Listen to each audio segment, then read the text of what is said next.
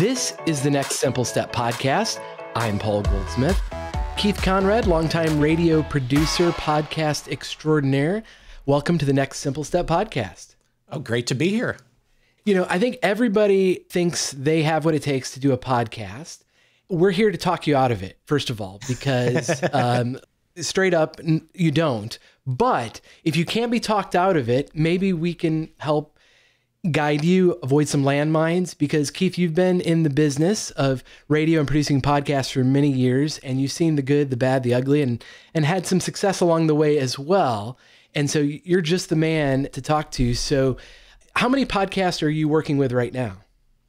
I would say 5 that are consistent and producing content on a regular basis and then probably about another 5 to 6 that are either just starting out and haven't gotten to that point yet or they're sort of like unfortunately hit that pod fade stage where they're not producing content consistently. So probably about 10 to 12 in total.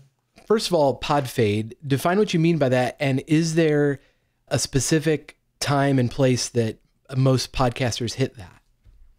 Pod fade would be basically, let's use the example of if you're doing a weekly podcast. Yeah. When you start off, you're all ready to go. And this is going to be like a continuous thing that you're doing that's part of your life. And then you do it for maybe a few months, maybe it's as long as a year. Maybe you're busy one weekend and you don't get around to recording an episode, so you skip that week. Maybe it becomes two or three weeks, and then suddenly you look up and you haven't done the podcast in like three months. I intended to do it every week and it was supposed to be a weekly thing, but now it's become a uh, you know, whenever I get around to it, sort of sure. thing. You know that that the audience can't really depend on uh, showing up in their feed when they were expecting it. That's the definition of pod fade. How have you noticed people avoid that? The ones that don't stop, that keep the consistency going. Is there some trend or something they do other than they just keep recording them? How do you plan for success here? I think it starts at the beginning because most podcasts I'm working with are generally going to be weekly. So, thinking in that mindset, you want to have a month's worth of episodes done before you even publish any of them. I would also make an argument that you want to have like that base that you're starting with. And I encourage them to have a month's worth of evergreen shows for that time that we decide we want to go away for a weekend. So we're not going to be able to record an, an episode. You've got one that you can just plug right in there that's going to work so that your audience can expect that there's going to be one uh, every week. When you know you're working ahead like that from the very beginning, which is the easiest time to do that, that takes a tremendous amount of pressure off of you to come up with ideas every week. That's what podcasters need to think about doing at the beginning.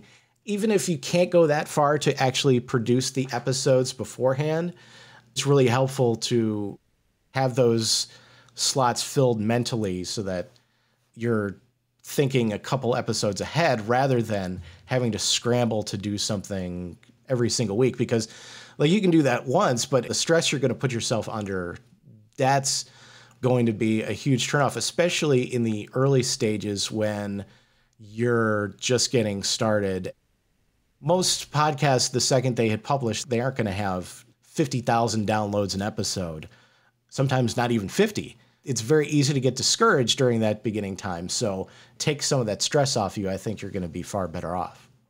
You know, if you can get 50 listeners in the first month, that's pretty good. I mean, how often do you get to maybe speak in front of 50 people at a time?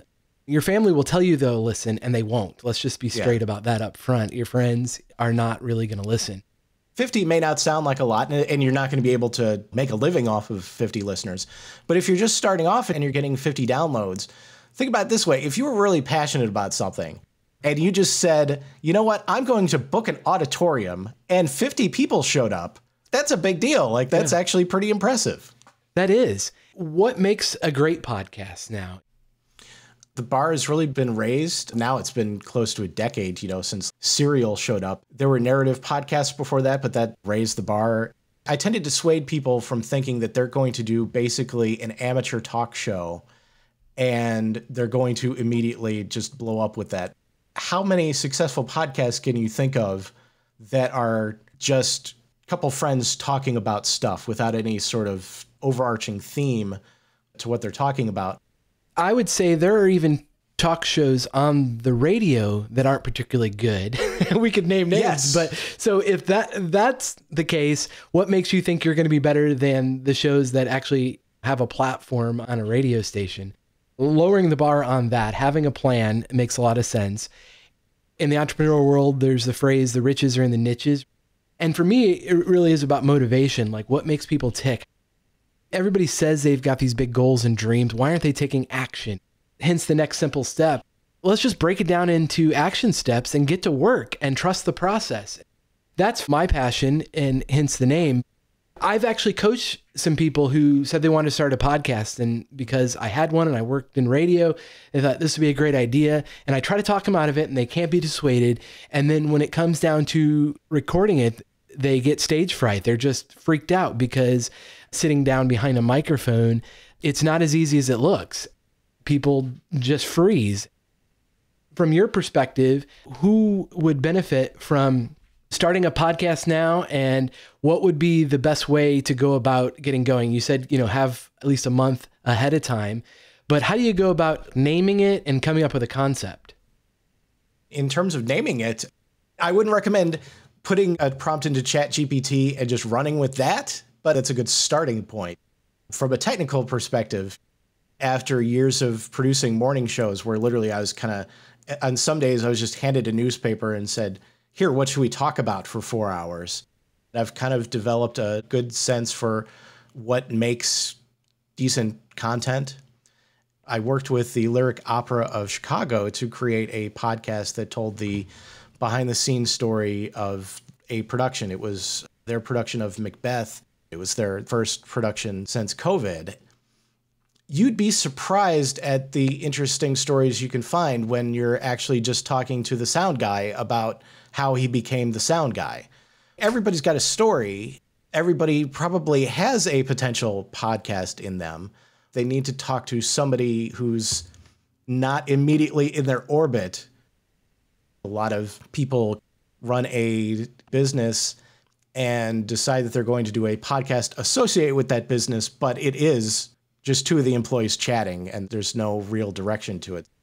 You need that other brain that's maybe a little disconnected from your everyday life to help you find that angle that makes the most sense. Well, I think the key word there is story, and everybody's got a story. As talent coach uh, Valerie Geller says there are no boring stories, only boring storytellers. That's something I've been working on is being able to craft great stories and I'm fascinated one of the top business podcasts the last couple of years is called Founders David Senra. He's simply talking about founders of businesses and he reads mm-hmm. like seven books on each of these founders and he spends an enormous amount of time consuming information, content, stories about these people. These mm-hmm. books are all available. Anybody could do this, but he's committed to doing this one thing and telling their story holistically. And the podcast has really taken off. It's a big deal because he's got one theme, and every episode is a different founder. And mm-hmm. now, really big famous business people are quoting him and referencing it because he's kind of stuck to his lane and he's learned how to tell stories in a really powerful way. And he gives his perspective along the way when he shares a particular story and then what he thinks about it and how he's going to apply it to his life and business. You're working on a history podcast now. Tell us a little bit about that and what's that going to be like?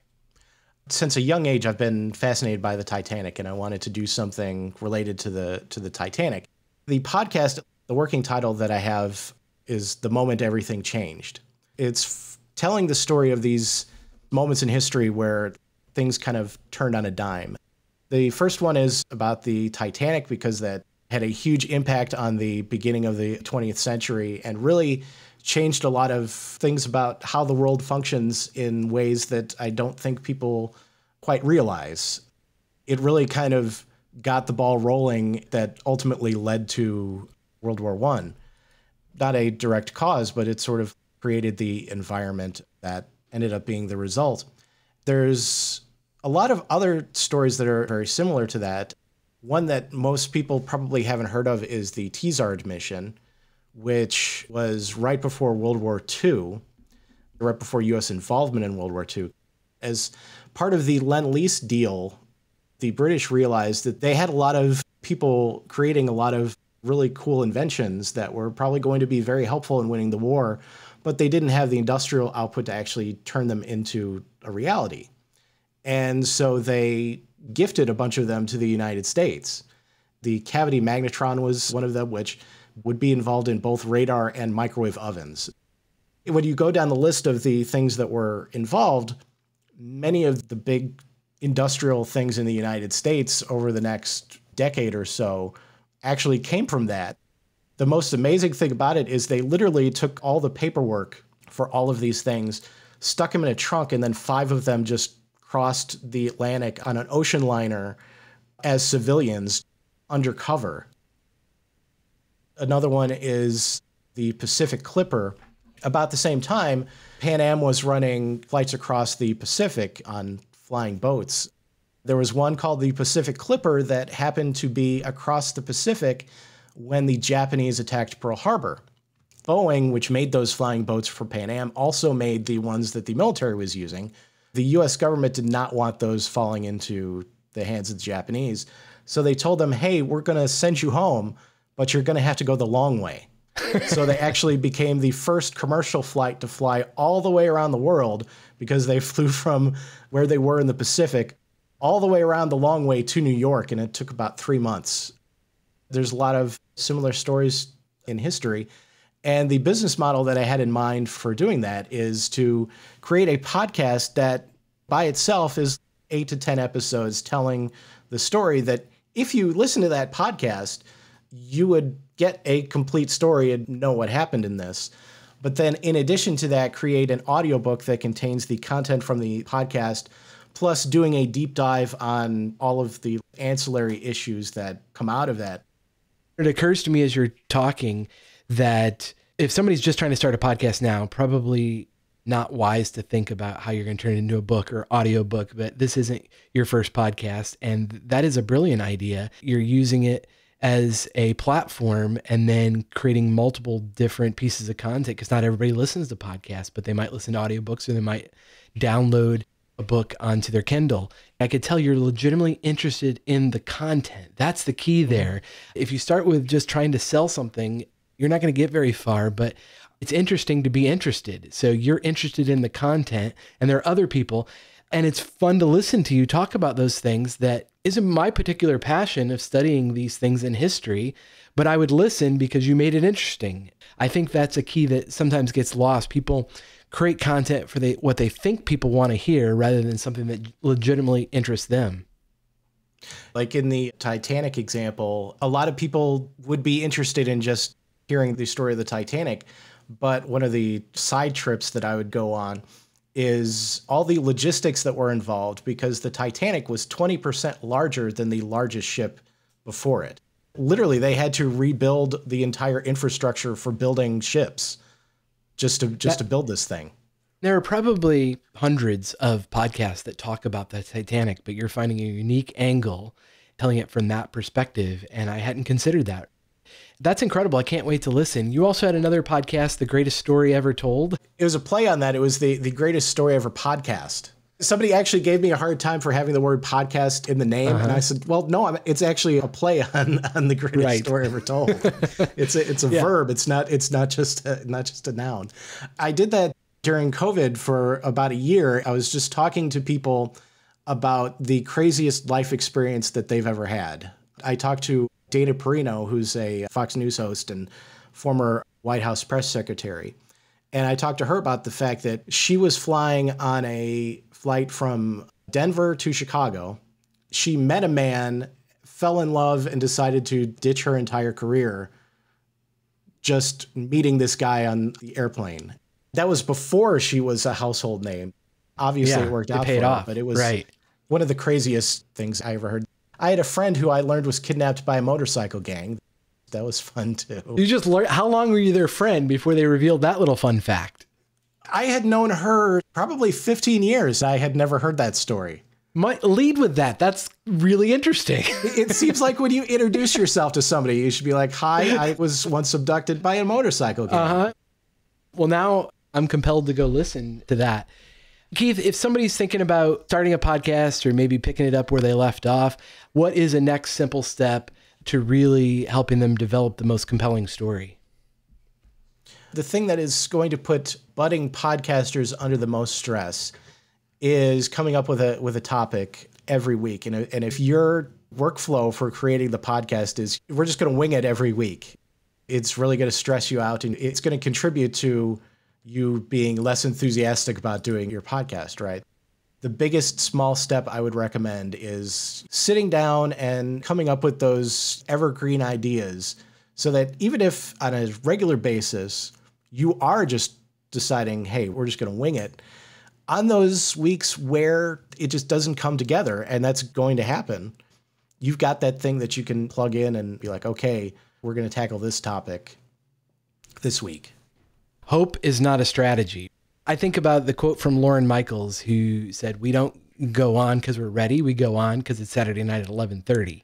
If you commit to a weekly podcast, have a plan to get there on your worst week. You're sick or have family activities or whatever the case may be, you're going to hit life and resistance. And this applies outside of podcasting. Anything you're really committed to, you need to plan for the resistance because mm-hmm. if it's worth doing, you're going to face resistance. Assume it's going to be hard before you start and have a plan. And I mm-hmm. loved your idea about the Evergreen podcast when you just absolutely aren't able to record, you've got something already pre-produced, ready to roll. Maybe on a Saturday you record three in a row, so you're not always trying to get behind it every single week. Done is better than perfect. And get better as you go. I'm definitely a recovering perfectionist, but really that's hiding behind fear because people connect with vulnerability too. So there is no perfect podcast, there's no perfect book. It's art. Just create the art and it's not for everybody. Be okay with people that aren't going to like it, that aren't going to listen. It's not for them.